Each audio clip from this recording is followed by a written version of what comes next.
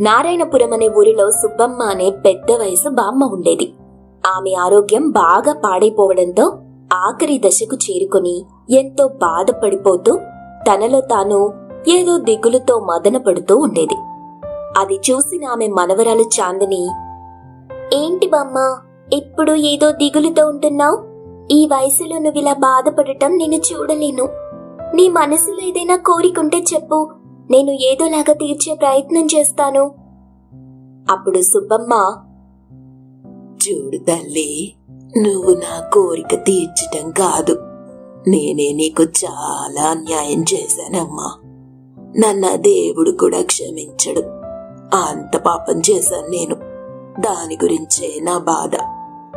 అయ్యో అలా అనకు బామ్మ నీ మనసులో ఉన్న బాధ ఏంటో నాకు చెప్పు. ఈ ఊరికి రాకముందు ఇక్కడికి నాలుగు వందల కిలోమీటర్ల దూరంలో ఉన్న శంకవరం అనే ఊళ్ళో ఉండేదాన్ని నేను. అక్కడ రోడ్డు పక్కన చెరకు అమ్ముకునే గోపయ్య లక్ష్మి అనే జంటకి పుట్టిన నిన్ను నేను దొంగతనంగా తీసుకొచ్చేసి ట్రైన్లో పారిపోయి ఈ ఊరొచ్చాను తల్లి.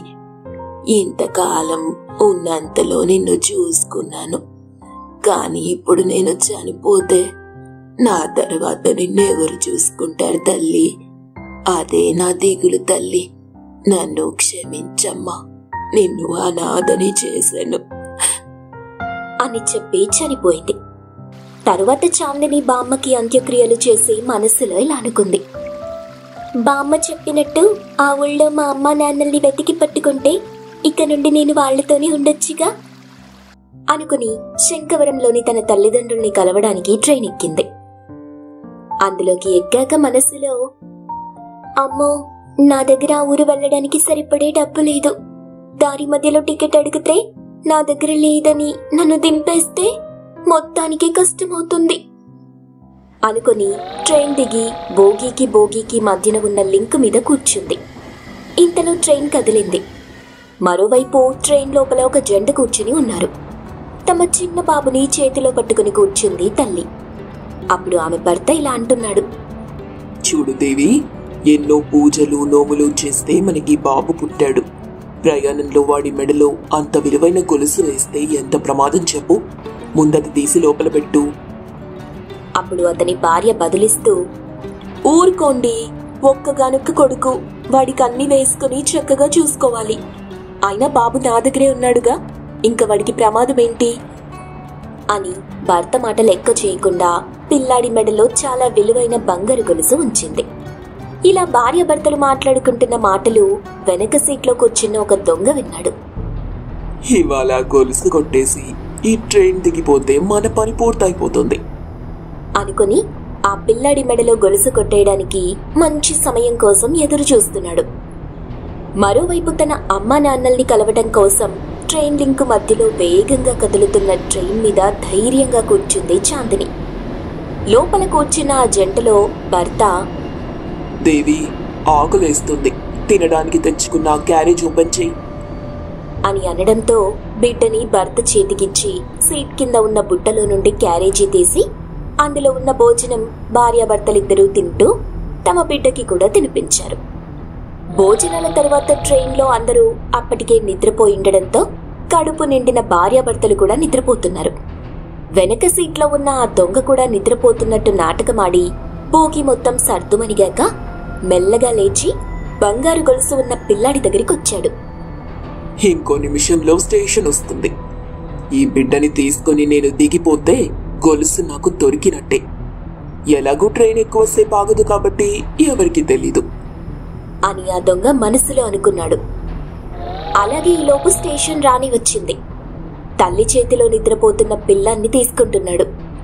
ట్రైన్ దిగబోతుండగా తల్లికి మెలకువ వచ్చి కళ్ళు తెరిచి చూస్తే చేతిలో బిడ్డలేడు అయ్యో నా బిడ్డ నా బిడ్డ ఏమండి మన బాబు కనిపించట్లేదు. అని అరవడంతో భోగిలో అందరూ నిద్రలేచారు.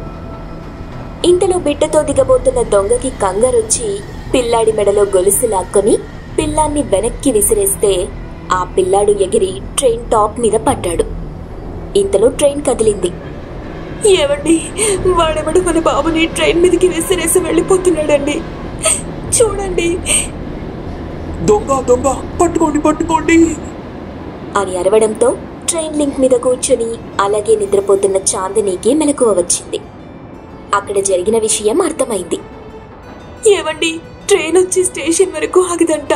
మన బాబు పైనున్నాడండి. ఎలాగండి? ఆ తల్లి మాటలు విన్న చాందిని వెంటనే తన ప్రాణాలకు తెగించి ట్రైన్ టాప్ మీదకెక్కి చూస్తే పిల్లాడు కనిపించాడు. కదులుతున్న ట్రైన్ మీద చాందిని రిస్క్ చేసి బాబు దగ్గరికి వెళ్ళి ఆ బిడ్డని చేతిలోకి తీసుకుంది. కింద బాబు తల్లిదండ్రులు కంగారు పడుతూ కిటికీలో నుండి పైన ఉన్న తమ బాబుని చూసే ప్రయత్నం చేస్తున్నారు. ఇంతలో తరువాత స్టేషన్ వచ్చింది. బాబు తల్లిదండ్రులు కంగారుగా దిగి బాబు కోసం బయటకొచ్చి చూస్తే ట్రైన్ మీద ఉన్న చాందిని చేతిలో బాబున్నాడు. అతని మెడలో బంగారు గొలుసు లేదు. ఆనందంతో తల్లి కన్నీళ్ళు పెట్టుకుని చాలా సంతోషం పాప ప్రాణాలకి తెగించి మా బాబుని కాపాడావు. చాలా థ్యాంక్స్ పాప. పర్వాలేదండి. ఇంతకీ నువ్వెవరు పాప? పైకిలా వెళ్ళావు? నా పేరు చాందిని అండి. నేను మా అమ్మ నాన్నల్ని కలవాలని మా ఊరు శంకవరం వెళ్ళడానికి డబ్బులు లేక ట్రైన్ బోగిల మధ్యలో లింక్ మీద కూర్చున్నాను. అప్పుడు ఆ దొంగ మీ బాబుని తీసుకొచ్చి అతని మెడల గొలుసు లాక్కొని పైకి విసిరేసి వెళ్ళిపోయాడు. ట్రైన్ కదిలిందని నేను బాబు కోసం పైకెక్కాను. మాకింత పెద్ద సాయం చేశావు. నిన్ను మీ ఊరి వరకు టికెట్ కొని మేము పంపిస్తాం. మాతో వచ్చి ట్రైన్లో కూర్చో తల్లి. అంతేకాదు నీకు నీ తల్లిదండ్రులు దొరకని పక్షంలో నువ్వు మాతోటే ఉందువు గాని. అని చెప్పి తన కొడుకుని కాపాడిన చాందిని మీద తనకున్న కృతజ్ఞత చూపించాడు ఆ తండ్రి. ఆ విధంగా తన బామ్మ చెప్పడంతో తన తల్లిదండ్రుల్ని కలవడానికి వెళ్తున్న చాందిని తనలాగా మరొక బిడ్డ ఎవరి వల్ల అనాథ కాకూడదనుకుని ప్రాణాలకి తెగించి మరి ఆ బిడ్డని కాపాడి తన తల్లిదండ్రులతో కలిపింది. కనుక ఆ దేవుడు కూడా చాందినిని తన తల్లిదండ్రులతో కలుపుతాడేమోనని ఆశపడింది. రాజుపాలెం అనే ఊరిలో చాందిని అనే అమ్మాయి మరియు వాళ్ళ అమ్మ జానకి ఒక పాత ఇంట్లో నివాసం ఉండేవాళ్ళు. వాళ్ళది చాలా పేద కుటుంబం. చిన్నప్పుడే చాందిని వాళ్ళ నాన్న చనిపోయాడు. అప్పటి నుంచి జానకి ఏదో ఒక పని చేసుకుంటూ కూతుర్ని చూసుకుంటూ ఉండేదే. చాందిని అమ్మకి ఇంట్లో పనిలో సాయం చేస్తూ ఉండేదే. చాలా రోజులు గడుస్తూ ఉన్నాయి. ఒకరోజు వాళ్ళమ్మ చాందినితో ఇలా అంటుంది. అమ్మా చాందిని నేను కూలి పనికి వెళ్తున్నాను. నువ్వు ఇంటి దగ్గర జాగ్రత్త అని చెప్తుంది.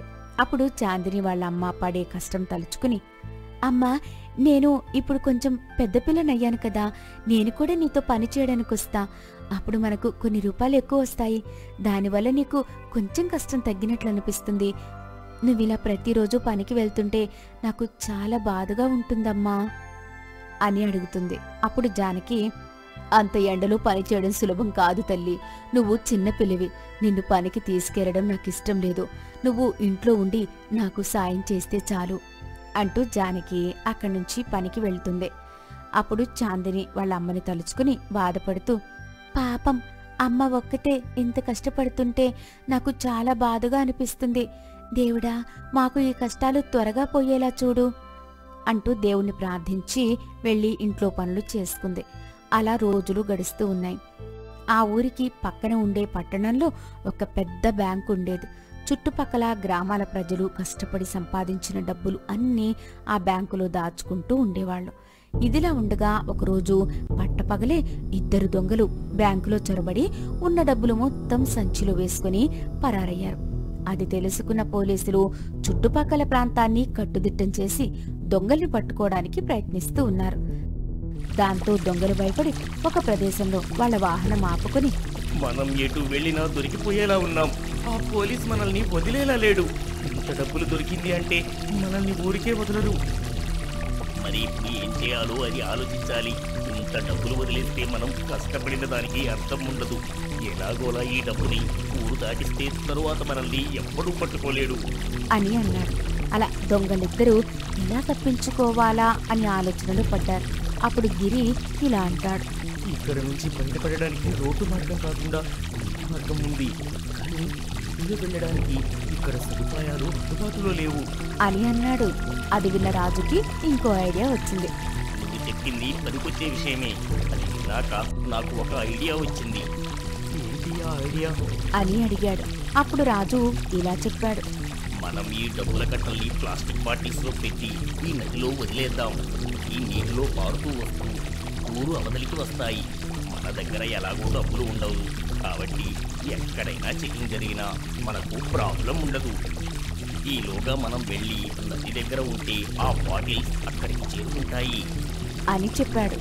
అది విన్న గిరి ఓ ఈ ఐడియా చాలా బాగుంది. ఇలా చేస్తే మనము డబ్బులు సేఫ్గా తప్పించుకోవచ్చు అని అనుకున్నారు.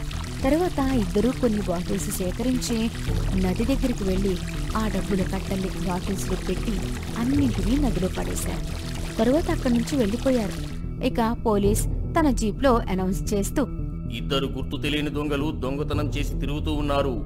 అలాంటి వారు ఎవరైనా అనుమానంగా తిరుగుతూ ఉంటే మాకు తెలియచేయండి. అని చెప్తూ వెళ్ళాడు. అది విన్న జానకి ఇంటికి వచ్చి చాందినితో చాందిని ఇవాళ బ్యాంకులో పెద్ద దొంగతనం జరిగిందంట. చాలా మంది డబ్బులు బ్యాంకులోనే దాచుకున్నారు. ఇప్పుడు వాళ్ళ పరిస్థితి ఏంటో? అని చెప్పింది.